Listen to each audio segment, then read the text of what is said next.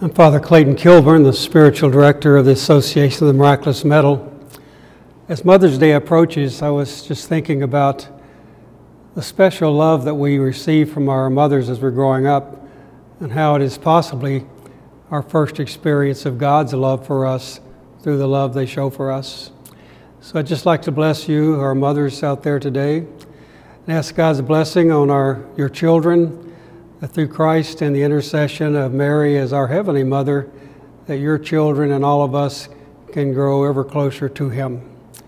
In the name of the Father, and the Son, and the Holy Spirit, amen.